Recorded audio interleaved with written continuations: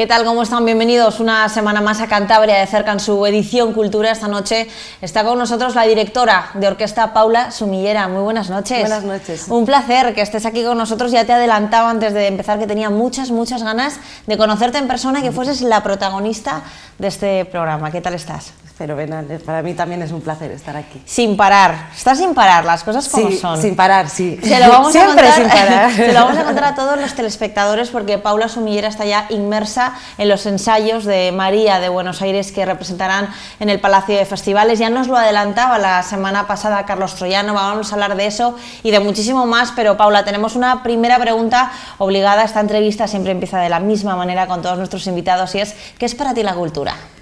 A ver, para mí la cultura es mi vida y creo que también la cultura es parte de la identidad de una región o de un país o de un pueblo o de es parte de la identidad de, una, de cada una de las personas y, y la base fundamental para una sociedad civilizada. Paula, directora de orquesta, la primera, tenemos que decir, eh, directora de orquesta con la titulación en, en la comunidad de Cantabria. Eh, ¿De dónde te viene a ti esa vinculación con, con el mundo de la música? Pues yo desde pequeñita mm, siempre me ha gustado y, y bueno, mmm, con cuatro o cinco años eh, vivía con mis padres en Palencia y había una escuela de música que tenía que tenían un piano en, en la como en una especie de bueno que se veía desde la uh -huh. calle no y, y yo me paraba a mirar ahí cómo daban las clases de piano y decía, mamá, yo quiero tocar el piano. Y empecé, nada, eso, pues con cuatro, con cinco años o seis, uh -huh. no, muy pequeñita, muy pequeñita.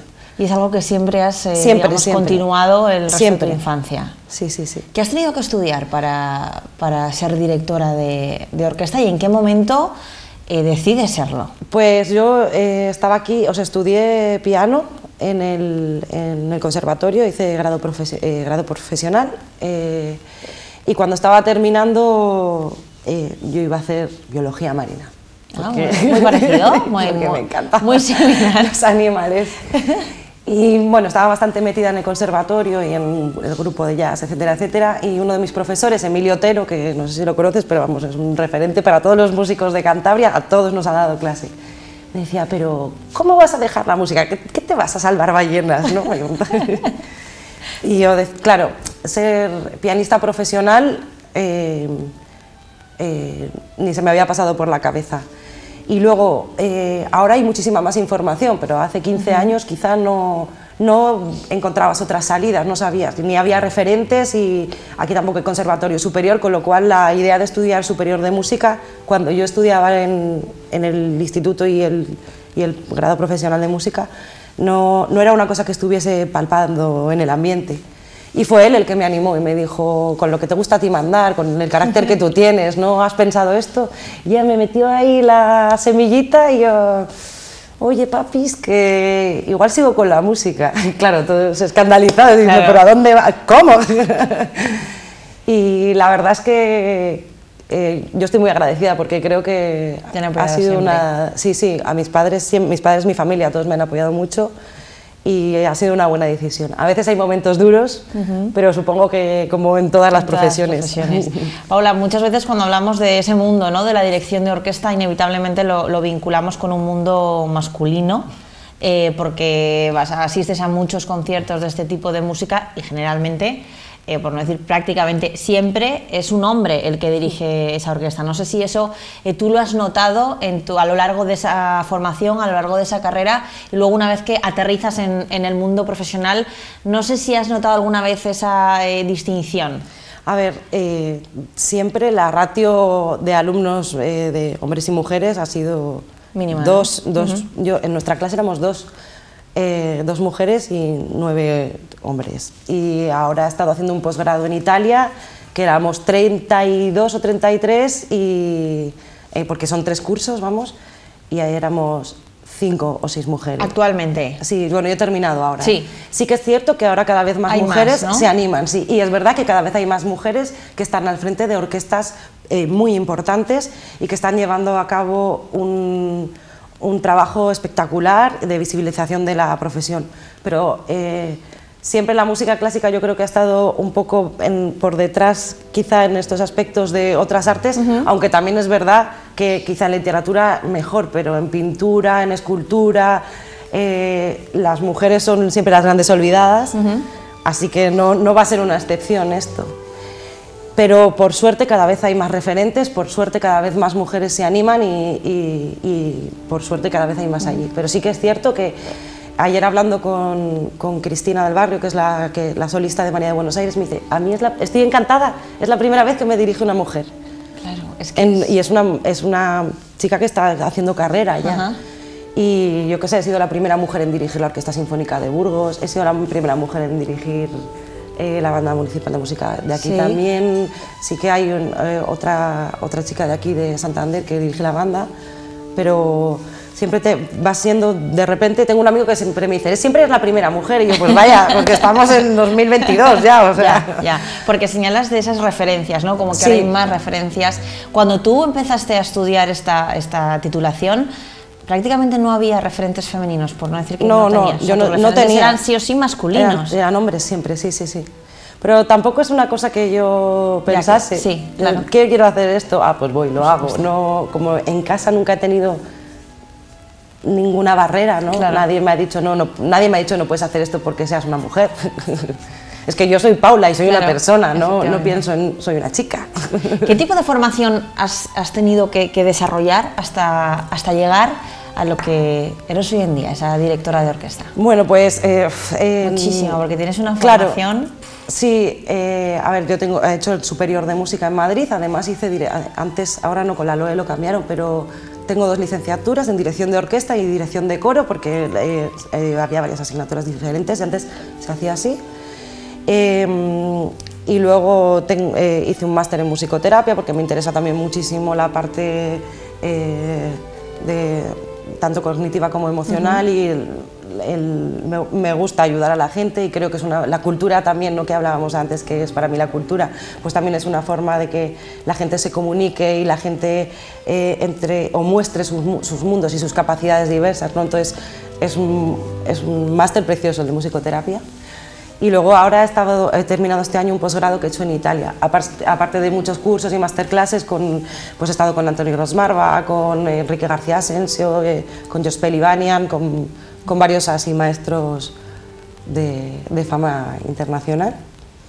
Y luego pues tengo, yo qué sé, mil asignaturas, he, estudiado armonía, he estudiado contrapunto, he estudiado análisis, idiomas... Es una formación constante la que, La que estás haciendo, ¿no? Sí, además a mí me encanta mi profesión porque cada vez que afronto una partitura tengo que descubrir cosas nuevas, ¿no? Entonces sabes historia de la música, pero ya te, ahora estoy con Piazzolla, ¿no? Pues eh, te metes de lleno en el mundo de Piazzolla, en su vida, en su historia, en cómo compone, por qué compone así. Entonces, cada, cada, para mí cada proyecto que hago es un redescubrimiento de un autor, redescubrimiento de unas obras, de una época, porque también dices... O, yo, por lo menos, me enfrento a una partitura, ¿no? ¿Qué sucedía? ¿Por qué ha hecho esto? ¿Y qué me quiere contar? Entonces tienes que saber también el contexto histórico, social y todo. Entonces es súper divertido porque estás siempre aprendiendo, siempre conociendo cosas nuevas. ¿Cuáles son algunos de tus referentes en este, en este mundo profesional? Pues hay una mujer que se llama Bárbara Hannigan que me encanta, que es cantante también, es un espectáculo toda ella.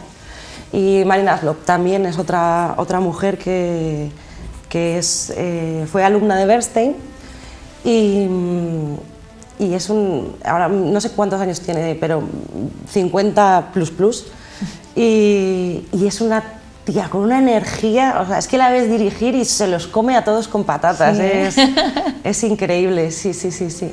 Muchos quizá de los telespectadores que, que, nos estén viendo, seguro que, bueno, todos hemos acudido a algún concierto de este tipo, eh, vemos a, en tu caso, te vemos ahí al frente de esa gran orquesta, pero ¿en qué consiste? ¿Cómo le explicarías a alguien en qué consiste el trabajo de una directora de orquesta?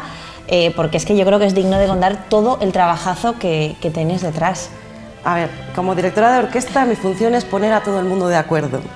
Eh, en orquestas hay que decir que generalmente no son ni dos ni tres, es decir, si ya nos gusta a veces entendernos entre un par de personas, No te quiero contar en orquestas como por ejemplo Orquesta Sinfónica del Cantábrico, de la que también hablaremos, que en su día eran 40 componentes. Sí, sí, sí. Entonces al final es eh, eso, es poner a todo el mundo de acuerdo. Quiero decir, tienes delante un montón de profesionales con sus ideas, que conocen las obras, etcétera, etcétera, y al final es como un director de de, teatro. ¿no? La obra la conoce todo el mundo, pero cada director la estudia, la analiza y quiere enfatizar unas partes u otras. Entonces, más o menos eso, eso es lo que hago, poner a todo el mundo de acuerdo, contarles mi versión de la historia y hacer que ellos eh, entren en mi idea y me acompañen. Por supuesto, creo que, o sea, para mí es muy importante también escuchar lo que me tienen que decir. Y al final la, orquesta es un instrumento vivo y eso es maravilloso, porque igual yo puedo ir a un ensayo con una idea preconcebida de cómo quiero que suene el solo de clarinete, y entonces viene Isabel, que es mi clarinetista principal, y me cuenta otra cosa y digo, guau.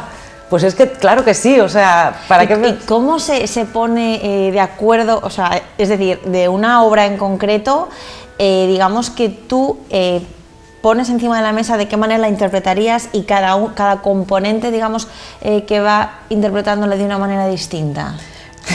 A ver, es complicado. Es complicado, claro, y por eso te vuelvo, te repregunto, porque es que me parece complicadísimo el poner de acuerdo ah. sobre una obra a, todo el mundo. Partimos, partimos de la base de que todos son músicos profesionales, bueno, la gente con la que yo estoy trabajando en la orquesta son todos músicos profesionales, todos tenemos una idea de la música. Claro. Entonces, al final tenemos un lenguaje similar, entonces yo les puedo decir, mira, atención, porque yo creo que el fraseo de, o que esta frase o que esta sección de la sinfonía eh, tiene que empezar en, un punto aquí, energéticamente llegar hasta aquí, melódicamente necesito que hagáis esto o lo otro, que los contrabajos y los bajos apoyen al resto de la orquesta aquí porque eso es el punto al que tenemos que llegar, les vas contando un poco por dónde tienen que ir. Y Paula, y también con las manos, ahora que me estás viendo aquí. Es que te voy, y esto me acaba de venir a la cabeza, muchas veces tenemos en, imágenes, como por ejemplo ahora mismo, eh, bueno, en general a todos los directores de orquesta, cuando estáis con esa batuta hacia un lado, hacia otro, realmente es que es un lenguaje que, que, los músicos interpretan. También, y se estudia, que es que cuando yo a veces me veo en casa porque hay cosas que no salen, ¿no? Y estás delante del espejo y haciendo gestos. Y claro. cualquiera que me vea dice, esta. Claro, son unos lenguajes que tienen un significado, no es que a ti te esté viniendo en ese Claro, lo que pasa que al final en un concierto, el concierto es el, el resultado final de un trabajo previo. Entonces, por supuesto, se habla, se comenta, se trabaja. Antes, antes incluso de empezar a ensayar con la orquesta, yo hablo con los, solistas, con el o, la concertino, eh, le cuento un poco mi idea, porque también, como, dependiendo de cómo yo quiera una frase, el arco del violín puede ir de una manera o de la otra. Entonces, al final, eso, eh, son los ensayos donde realmente está el mejunje y donde está el trabajo, y luego ya llega el concierto y simplemente es, oye, estoy aquí contigo, adelante, acuérdate que aquí te... O sea, al final el concierto es un recordatorio de todo lo que ha sucedido antes y a veces suceden cosas nuevas, que es cuando la magia, es cuando se te ponen los pelos de punta y dices, ah, estamos aquí todos y eh, estamos, eso, estamos vivos. ¿Cuánto tiempo podéis estar ensayando una obra? Es que depende, de la obra, es que depende tantísimo. Nosotros ahora cuando hacemos los, este proyecto va a ser más largo porque es complejo. Para, el María de Buenos Aires te refieres. El María de Buenos Aires, pero normalmente eh, ahora con la orquesta, por el tipo de orquesta que es, que no es una orquesta de funcionarios, sino que es una orquesta es estable, pero funcionamos por proyectos.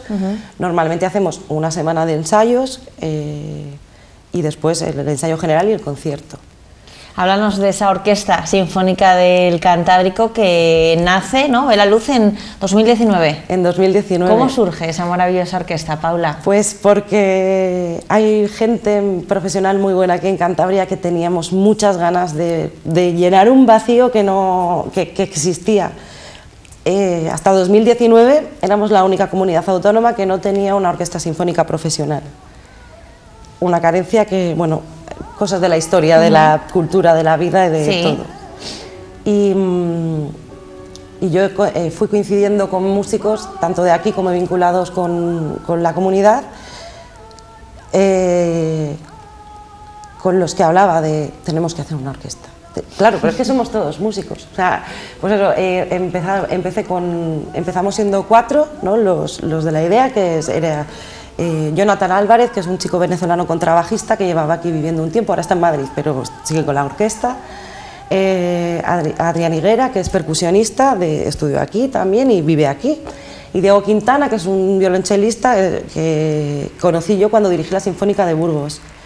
Y bueno, él tenía bastante relación aquí, tiene amigos, etcétera, etcétera, le gusta mucho Cantabria y, y bueno, pues empezamos a hablar y a ver cómo podemos hacer esto. Que es un proyecto muy bonito, pero somos todos músicos. No somos gestores culturales, no somos... Entonces ahora lo que hemos seguido haciendo es, eh, planteamos un proyecto, vamos a hacer una orquesta, vamos a empezar con cosas que creemos que se pueden hacer, que podemos abarcar, y fue cuando en 2019 creamos la asociación y, e, e hicimos nuestro primer concierto en el Centro Botín, y luego pues... Eh, poco a poco eh, seguimos proyectando, vamos a hacer una temporada, qué es lo que queremos, cómo lo queremos, etcétera, etcétera, y vamos a ir haciendo de concierto a concierto. ¿Qué pasa? Llegó la pandemia. Sí, eso te iba, te iba a preguntar porque eh, en el inicio de esta orquesta, ahora mismo no lo sé, pero llegasteis a ser 40, 40 componentes. Somos, eh, ahora te cuento, el primer concierto este que hicimos fuimos 17.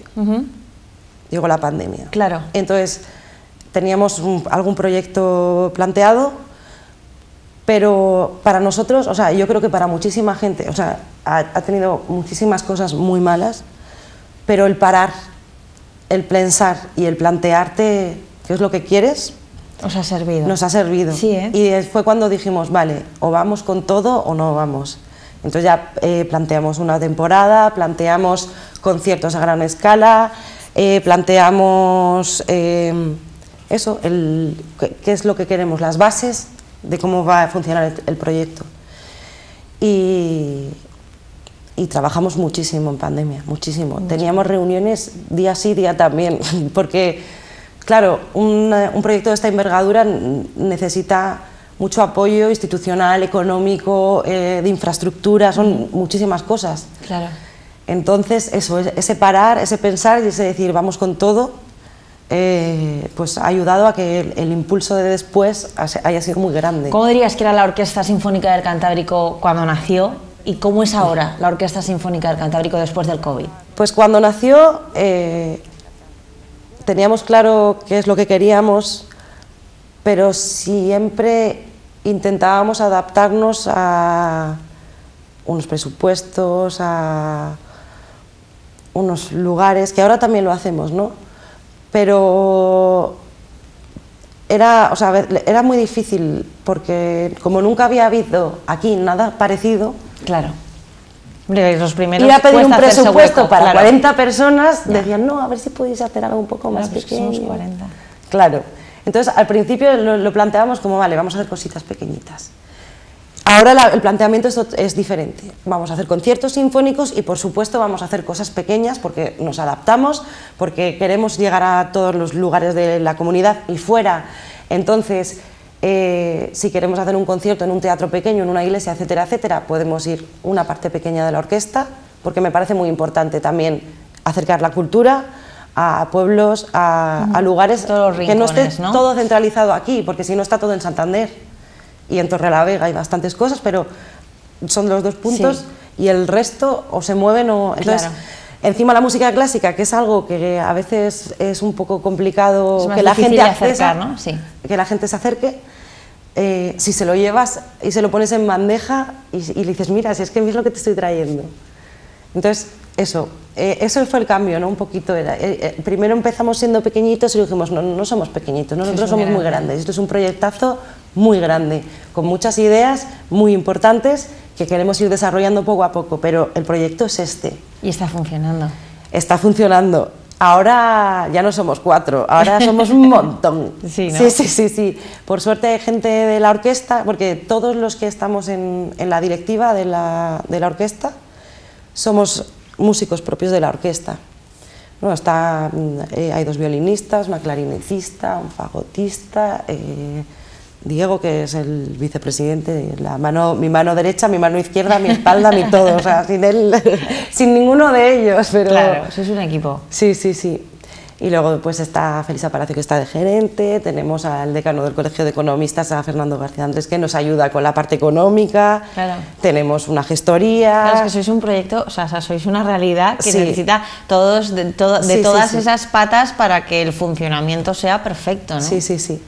Y ahora, bueno, vuestro próximo proyecto a corto plazo, podríamos decir, es ese María de, Buenos, Aires. en el Palacio de Festivales, y como les decíamos al inicio, ya nos adelantaba eh, Carlos Troyano, el responsable de programación del Palacio, que estaban emocionadísimos con esa vuelta de la lírica al Palacio de Festivales después de tantísimos años. Y ahí vas a estar tú, Paula al frente. Nosotros, es, el año pasado fuimos a hablar con Carlos, le dijimos, queremos hacer esto queremos hacer esto y bueno, es el 100 aniversario, 2021 es el 100 aniversario de nacimiento de Piazzolla. Queremos hacer esta ópera porque es una ópera pequeñita, dentro de que mm, creo que es la cosa, o sea, no creo, lo sé, es de lo más difícil que he hecho en mi vida. Sí, o sea, lo confirmamos, es lo más difícil que has hecho en tu vida. Sí, lo habla. Y, y, con Íñigo Santacana, el, el, director de escena, hablándolo con él, sí, o sea, somos un grupo de gente muy joven, con muchísimas ganas, pero claro, ya ponerte a producir una ópera es que no es hacer un concierto, es que ya, nos contratar a los músicos y aunque hemos hecho cosas pequeñitas también con escena, porque hemos hecho el Carnaval de los Animales y hemos hecho el poema de Cantejondo con Anabel Díez y con actores y con, y con Ginés Ortega cantando, la cantadora, vamos. Eh, es que somos muchísima gente, es que tenemos que montar escena, es que es, entonces... Pero qué ilusionante, ¿no? A la vez. Es una, mira, es, que, es, que, solo hay que ver la cara que se le pone a Paula Sumiller hablando de María de Buenos Aires. Ahora, y encima, ahora que ya hemos empezado, yo he tenido, los últimos 15 días yo estaba que me subía por las paredes y me metía dentro de la cama y decía, no quiero salir de aquí. ¿Dónde me he antes de empezar un proyecto que, y, que dónde me he metido y que por dónde empiezo. Sí, sí, sí.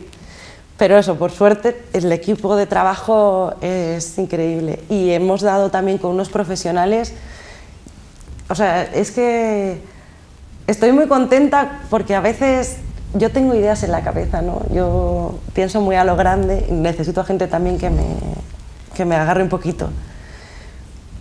Pero en este proyecto creo que he dado con otra gente como yo, entonces... Podéis hacer algo grandísimo. Entonces sí, es que eh, está Paula Roca de vestuario, que es que es precioso, es que está todo el mundo haciendo cosas preciosas. Qué bonito.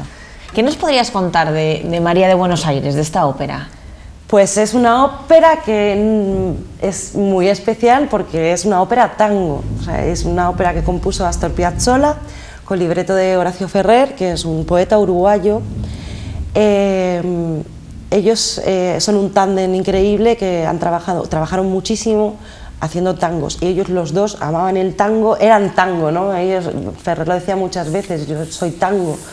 Y hay muchas frases de María de Buenos Aires que convierten el tango en un personaje, convierten el tango en una acción, convierten el tango en una forma de vida, ¿no? Y, querían elevar el tango a, otro nivel, ¿no? y mostrar, igual que hay la ópera italiana o la alemana, incluso que tenemos la zarzuela, ellos querían hacer su parte propia de, Argentina, de Buenos Aires. Y es una obra muy bonita, es surrealismo, con lo cual, por eso hablábamos de que, de que es, es, compleja. Y es tango, es pasión, es oscuridad, es misterio, es la noche, es Buenos Aires, no sé, es, Recomendamos a todo el mundo, sí, ¿no? Sí, sí, sí, sí, sí, Yo lo recomiendo. además creo que es una forma muy bonita de acercarse a la, música clásica, de acercarse a la ópera, porque es una obra cortita, de una, hora 45 más o menos. Depende de lo nerviosa que esté, la, velocidad a la que les lleva a todos. porque, Paula, nos tenemos que ir despidiendo, pero eh, ¿qué te viene a la cabeza bueno, ahora no, bueno, no te iba a decir, imagínate ese día del estreno en el Palacio de Festivales, pero Hombre, en ese momento mm, me imagino que como todavía no ha pasado, no sabes lo, que te va a pasar por la cabeza, pero en general, cuando te ves ante un proyecto de, gran envergadura, ante una actuación importante, o bueno, yo creo que todas son importantes, pero ¿qué te viene a la cabeza? ¿Qué piensa Paula Sumillera antes de que empiece ese concierto cuando tiene a todos los músicos delante?